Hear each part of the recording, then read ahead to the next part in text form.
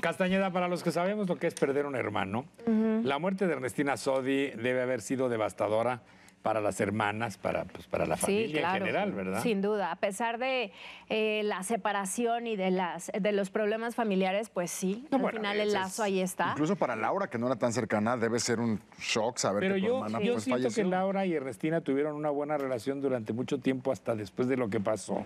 Pues sí, pero se- lamentablemente Se el fallecimiento separaron. de Ernestina llegó cuando ellas estaban separadas. Pues bueno, vamos a esta nota de que es la crónica del funeral funeral? de Ernestina Sodi este fin de semana.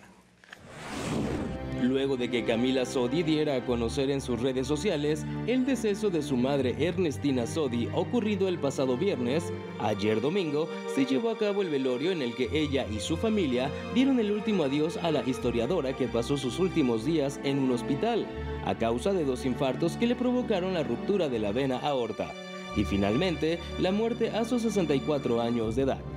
El funeral se llevó a cabo en completo hermetismo, tan es así que el diseñador Gustavo Mata no quiso confirmar si Talía estaba al interior de la funeraria ubicada en la carretera México-Toluca y cuyas puertas de cristal fueron cubiertas con bolsas plásticas para evitar que la prensa grabara el interior. Chicos, ¿qué les digo? La verdad. Pues lo que nos puedas compartir, amigo. Nada, tengo que respetar el momento de la familia, pero gracias. ¿Cómo está Talía? le pudiste dar el pésame? Siempre, mi amor, es una familia que amo. ¿Y Camila cómo está? Todas las Gracias, gracias, María- gracias. Hablaba que iba a haber una misa en Mérida, finalmente no se llevó a cabo nada. Ay, porfa, déjenme pasar, se los juro. Es que de verdad es, es una familia que quiero y no puedo compartir nada. Giovanni Medina, Naila Norvin e Ileana Fox fueron otros de los asistentes al velorio, aunque también ellos evadieron a la prensa. Dos minutitos, Giovanni. ¿Cómo viste allá adentro, Giovanni? Dos minutitos. Nailea, dos minutitos. Nailea, Nailea. Ileana, dos minutitos. Poco antes de las 10 de la noche, captamos el vehículo en que presuntamente Talía partió del lugar a toda velocidad, custodiada por otra camioneta con cinco guardaespaldas. Más tarde, otro vehículo en el que iba Diego Luna y su pareja Marina de Tavira también salió a toda prisa. ¡Ay, Diego! ¡Diego!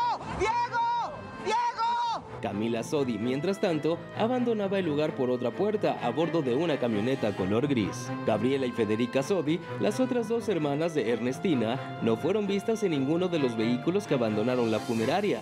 Tampoco Marina Sodi, la otra hija de Ernestina, que el sábado pasado dio a conocer en sus redes sociales que en una iglesia de Mérida tendría lugar una misa en memoria de su madre, aunque en realidad se trató de una misa de domingo normal. Se presume que los restos de Ernestina Sodi fueron incinerados, pero en un momento la reacción de Laura Zapata ante la triste noticia de la partida de su hermana, de quien vivió distanciada luego de que ésta afirmara que ella misma urdió el secuestro que las dos sufrieron en el año 2002. Con imágenes de Raúl Bolaños para Ventaneando Alejandra Sánchez.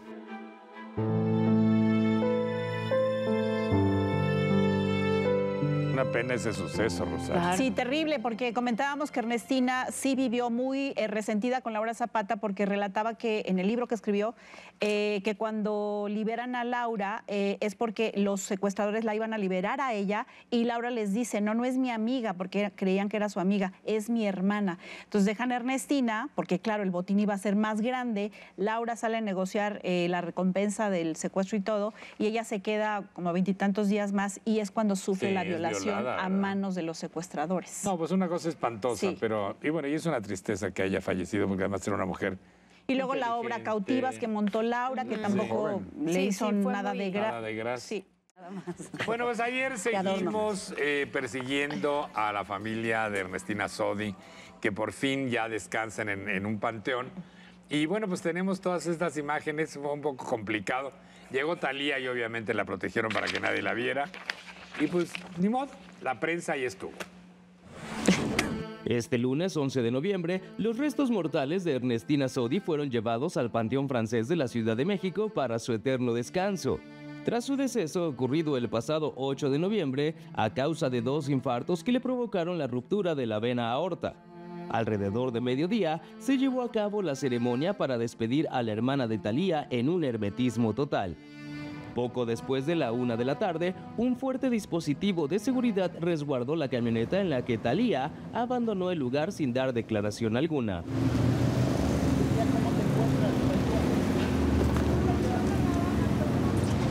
Minutos después, salió Diego Luna, padre de los hijos de Camila Sodi, quien prefirió no emitir comentario alguno, limitándose a saludar brevemente a los medios de comunicación presentes. Unas palabras, por favor. Por favor. Nuestro más sentido pésame. Diego, Diego, Diego.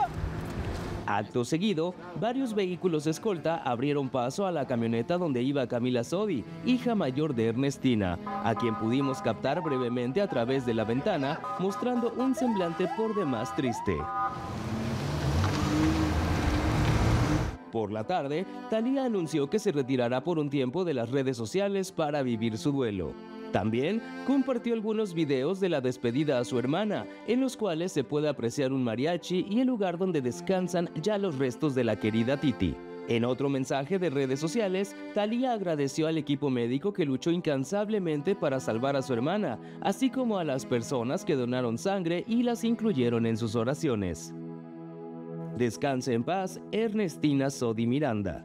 Con imágenes de Israel Vázquez para Ventaneando Daniel Aguilar. Bueno, pues este capítulo terminó. Y la familia un poco extraña, como siempre, pero. No, yo no creo que sea. Es Lo que pasa es que es una, claro, es una situación compleja. Se entiende que no hay palabras en este momento para dar una opinión en una situación después del desgaste físico, emocional, mental de pasar por un proceso como este, en una muerte tan repentina. 15 días ¿no? estuvo esta señora. Y además en- también Diez- como- pues sí, 21. más. Más de 20 días Sí, murió- intubada, o sea que. A los 18 días fue cuando eh, Camila Sodi puso este posteo en donde ella de alguna manera siento que ya estaba diciendo ya estoy resignada a que pase lo que, ¿Qué tenga que pasar. Además, también, Peter, es complicado para los medios cubrir ese tipo de eventos. Sí, es porque muy complejo. ¿Qué preguntas? ¿Cómo te sientes? Sí, es la pregunta, pero- eh, Te sientes como que invades, pero al mismo tiempo tienes que ¿sabes informar al público. Me encanta de algunos reporteros que hacen voz lastimosa cuando Porque preguntan. tienes que es ser que- empático exacto, con, busca ser- que complejo. de- De pronto, Sí, sí, sí. este, tienes que hacer las preguntas y hay personas que están muy fuertes para responder o que están muy tranquilas y hay otras que se quiebran y entonces tú tienes que mediar ahí la, la forma de acercarte. Claro. ¿no? Es Pues así debe de ser. De hecho, vino aquí cuando presentó un libro que se llamó Los cerezos negros, donde hablaba de un secuestro eh, de la yakuza japonesa y recreaba parte de lo que ella vivió con Laura y nos dio esa entrevista justamente acerca de cómo vivió y sufrió este secuestro. Nuestro secuestro fue muy, muy, muy mediático. Tienes que ponerle un, un arreglo. Claro que hubo muchas terapias, hubo muchas terapias porque, porque yo fui este, agredida sexualmente, pero con un hombre que no tenía rostro. Entonces, cuando por fin salió el señor que fue el que me hizo el daño, yo ya le pude poner rostro. Porque si no, yo estaba muy, muy complicada en mi cabeza este, con, con la imagen masculina. Y así vas, ir, va, va sanando, va sanando tu cuerpo que tiene muchos, muchas problemáticas de piel o de, o de vista.